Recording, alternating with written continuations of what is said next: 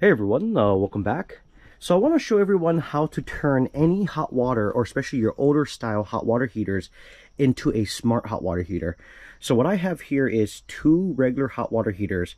They're electric, um, and normally they would be controlled by a um, little gray box timer like this, Intermatic, and it's controlled normally by an analog um, timer like this, right?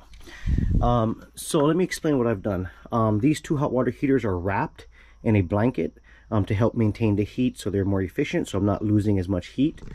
Um, but underneath this is just a basic regular electric hot water heater. Now the three components that you will need in order to make this work um, is first of all, I want to be able to read the actual temperature of the tanks. So what I have here is a Sonoff TH16. Okay, right here on the side is the plug and it goes down. It's a wire, it's a sensor and it's actually plugged into the side of the tank. It's not in the tank, but it's touching the tank. So where the service panel is, where you remove the insulation, I have the sensor fished in there and it's actually touching the tank itself. It's not touching any connectors because we don't want that, but it is touching the tank so I can read the tank temperature. Um, and then I can read these temperatures through the EWeLink app. So at any one time, I can just look on my phone and see what the current temperatures of these tanks are. So that's for me to monitor the temperature. But now, how do we make it smart, right? So what I did was, uh, we have heater number one and we have heater number two. So I removed the analog timer out of it. And this is what makes it smart right here, guys. So I have a 120 to 240 volt relay. But the main thing is that it's a 120 volt coil.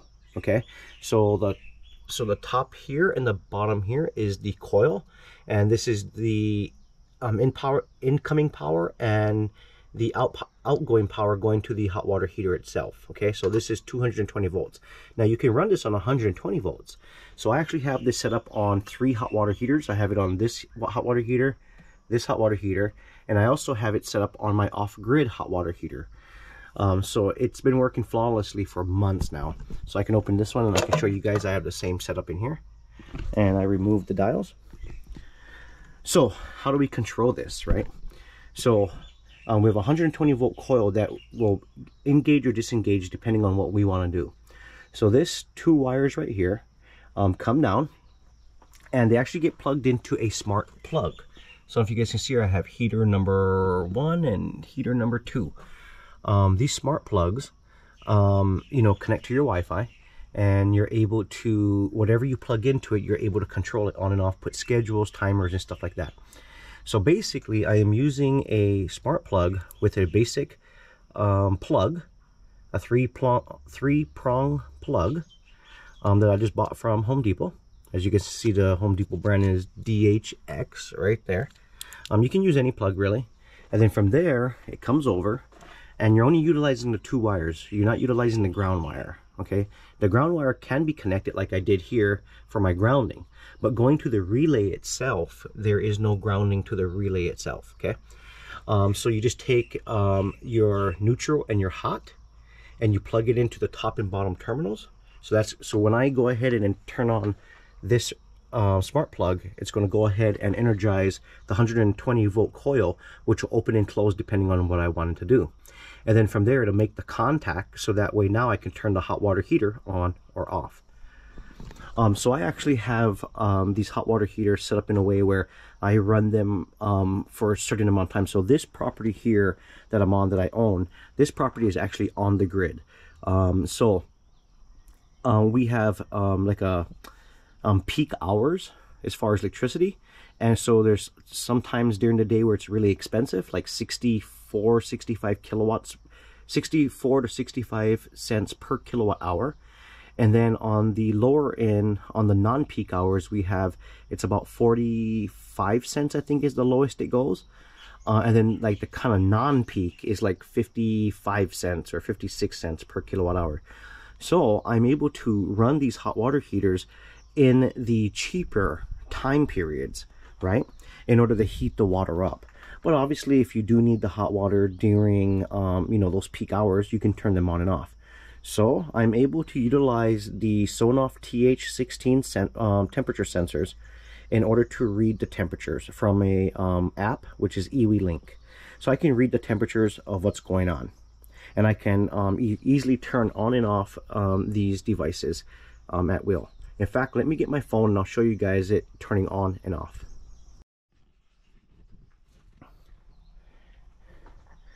Okay, so I'm not sure if it's showing up very well, um, but I have them. I have a bunch of these um, TH16 um, Sonoff devices plugged into a lot of different things, monitoring the temperature. But the main ones we're, we're um, concerned about is the rental. So rental heater temperature 1, rental heater temperature 2, right here. So as you can see, the very bottom one is 72.7 because I have that hot water heater off. We don't need it on right now because uh, I have a dual hot water heating system on this property. Uh, and then as you guys can see on this one right here, the rental heater 1 temperature is 115 degrees. But technically in the tank, it's 120 to 125 um, because the sensor is not sitting in the water, it's, it's attached to the side of the tank, right? So this is how I'm able to monitor the temperatures of, you know, um, the hot water heaters or anything else that I'm using it on. So now let's go to um, the actual um, control. So as of right now, I have the, I'm in the, um, the plugs I'm actually using is the um, VeSync um, plugs because I like them. They've always worked really well and I've never had problems with them. And so I'm using the VeSync amp app here. And here's a lot of the things that I have on this property that's smart controlled. Um, so if we go down to the water heater right here, you guys can see it's engaged. Try to give you guys a better shot here it's engaged. So I'm going to go ahead and click this button. It's going to go ahead and turn it off because it's on right now. And you could hear it click. That's this one right here. And I'll go ahead and turn it back on for you guys. And it's back on. Now, if we go into the settings, I can set a schedule, which I do. I have many schedules to run at different times depending on what I'm trying to do. Right? So this is a very cheap and inefficient way to turn uh, any hot water heater um, into a smart hot water heater. Um, this has literally cut down on the electricity bill on this property a lot, like quite a bit.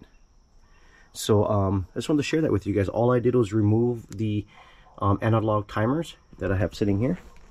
I'm have, I just have them on the side as backup just in case these ever fail. Um, but I also have backups of these. I have these sitting in a um, bucket down here.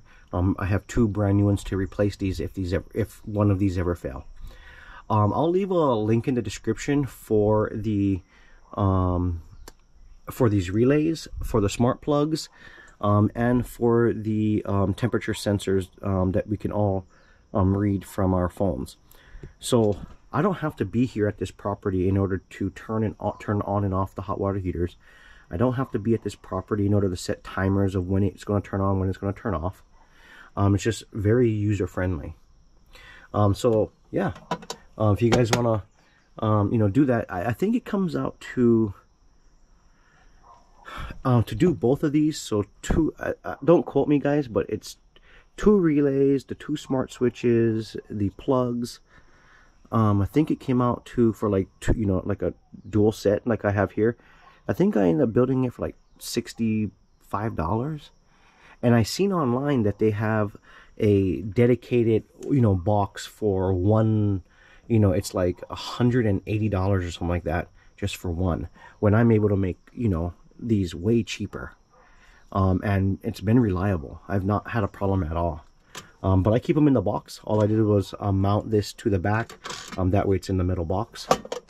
And we close it up. That's it. And then we have our, um, you know, I have um, two of these, one on each heater. And the sensors go into the service ports. Um, it's just basically the sensor is sitting against the tank. So technically you don't need these sensors here unless you want to monitor the temperature of your hot water heater. But if you just want to set times and change the times and be able to turn your hot water heater on and off remotely, you don't need this. You can just go with a smart plug, a cable, um, and the relay. So like I said, I'll leave a link in the description for, um, you know, these components. Um, but I like the fact that I can read the temperature of my hot water heater. So that's why I have the um, Sonoff TH16s installed. Um, but you can use these sensors for many things. I have one of these in one of my biogas digesters. I have one of these on one of my solar hot water heating circulation pumps. Um, you can use them for anything. Um, to read, you know, just basic temperature of either water or ambient air or whatever you put the sensor on, it will read that temperature, right? Or pretty close to it, at least. So yeah, just wanted to show you guys how I have that um, hooked up. Pretty simple, guys. Pretty simple.